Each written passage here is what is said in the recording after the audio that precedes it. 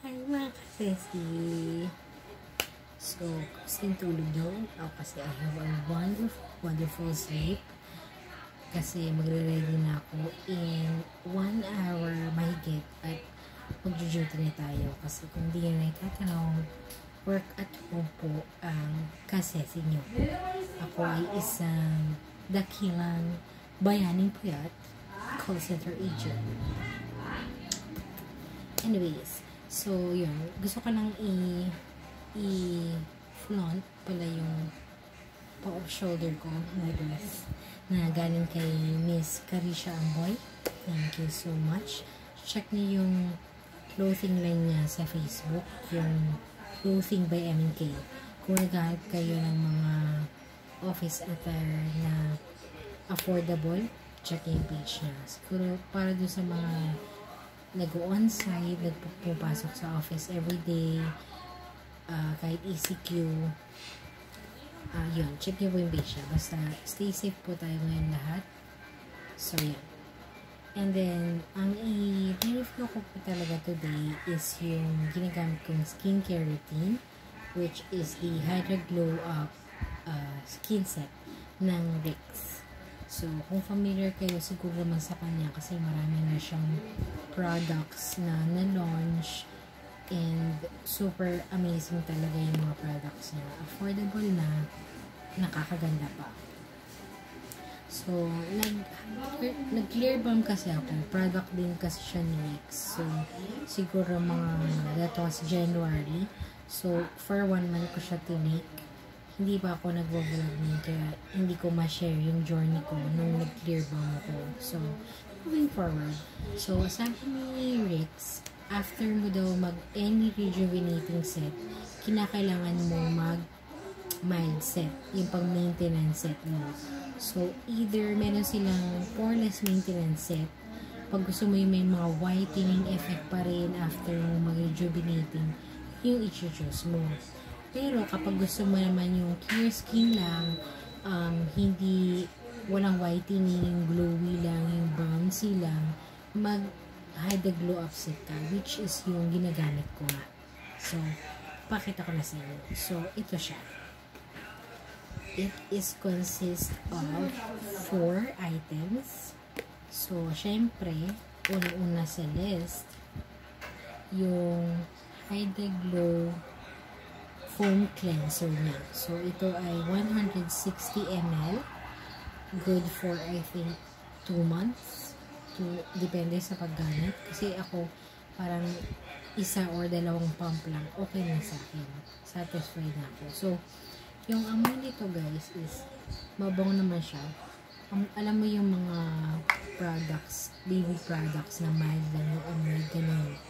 Mabango siya. So, Ganyan yung color niya. Clear lang.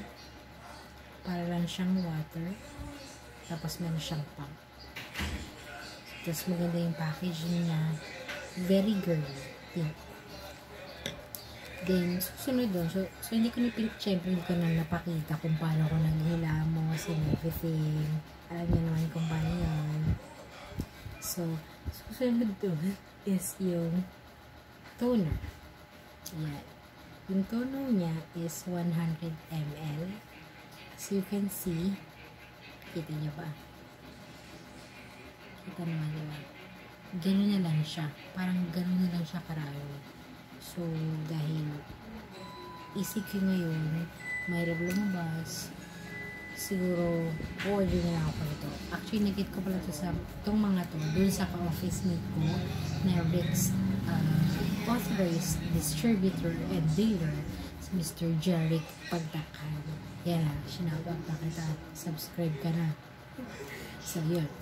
Um, sabi niya sa akin, basta nag-check kami na ano, uh, okay lang daw, i-deliver naman niya. May delivery charge lang. So, ito yung in-order ko. Yung toner nila. So, wait na lang ako kung kaya i-deliver.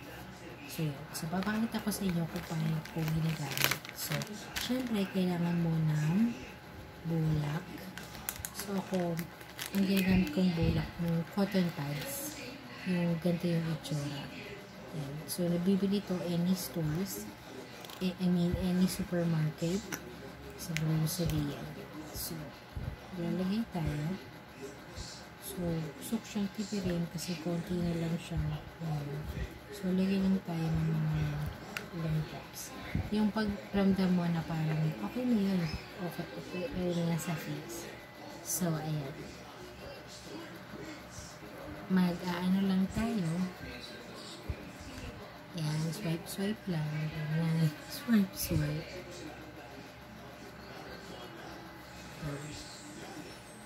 So, yung amoy niya, kasi amoy lang din nung ano, nung foam cleanser. Mabango, may baby, mild lang talaga siya. Wala siyang sting effect. Walang hapdi effect ever.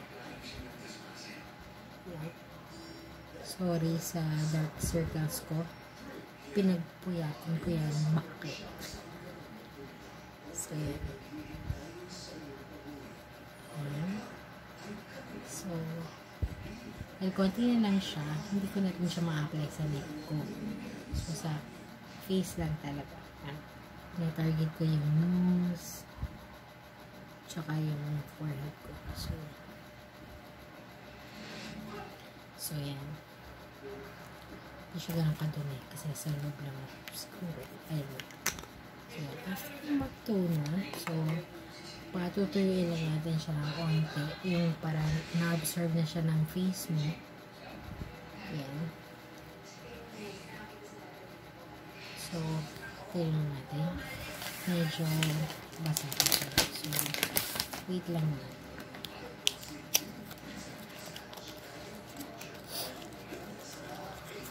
So, kapag, yan, feeling ko okay naman na. Mag-apply ka na ngayon yung toner ni Vicks. Ay, sorry, serum. Tapos pala yung toner. Ano ba? Serum. So, ito yung Hyperglow Serum na 30 ml din siya. Ito yung, ewan ko, everyday ko naman siya ginagamit, pero sobrang tipid niya gamitin. Yan pa lang siya, oh. Yan pa lang yung ko. Compare mo dun sa toner. So, yun. Siguro malakas ang yung toner. I don't know. So, yan. So, kagaya siya nung uh, cleanser, de-pump din siya para hindi ka na mahirapan na yung kagaya ng iba dati nakalagay yung iba sa bote tapos pinapatak-patak na rin. Ito naman, yan, de-pump na rin siya tapos ganito ganito. So, yun. Pump lang. Ayaw lang lumabas guys.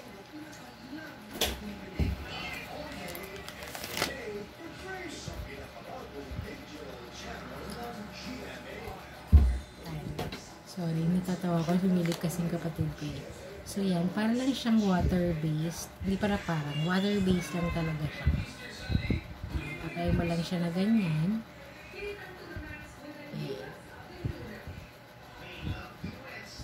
Iba sabi dapat daw papat, pat, pat, pat ka maglagay. So, I don't know. Ako kasi kinakalit ko siya sa face ko. Hindi na. Ay, shucks. Napatakan yung damit ko. Oh. Arte. So, yan. Massage, massage lang.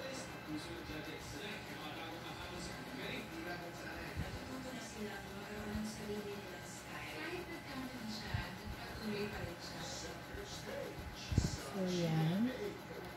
Pag feeling mo totally na-absorb na siya, good to go ka na. So, ipon natin. Lagi ko na lang binababa yung gamit ko, guys. Pansin nyo? Um,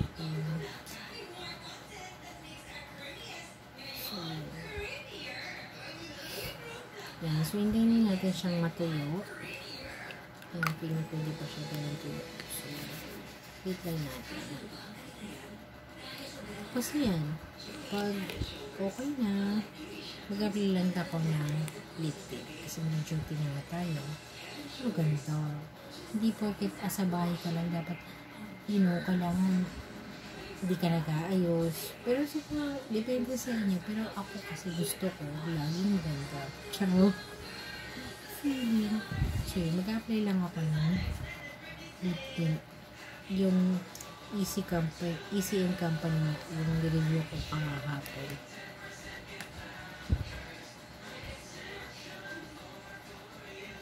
Nalabat na yung ano ko? Yung mirror ko.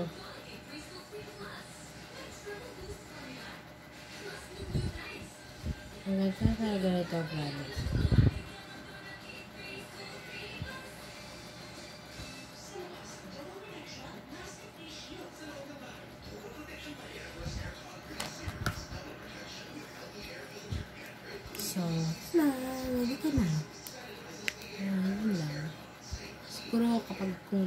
Man ako if ever, maglalagay lang ako ng ano, syempre, pag araw, don't forget yung sunshield. May kasama palang sunshield, guys. Yung glow up set. So, ito, ginagamit ko siya kapag yung, for example, lalabas ako ng hapon. Syempre, you know, yung climate natin ngayon sobrang init. Kailangan mo to. Kasi meron siyang sun protection, anti-sun protection. So, meron na siyang SPF 60. Kaya, okay. So, ano naman to? So, hindi ako nilalagay ngayon kasi dito rin ako sa lulang bahay. So, color white to. Tapos, mabango din yung amoy niya. So, yun. Sana, uh, hope you like my video and keep on subscribing. keep on subscribing. Like nyo lang yung button dyan and then hit nyo yung notification bell para ma-receive nyo or makita nyo yung mga next videos ko. Ayun lang. Mga kasesi, bye-bye!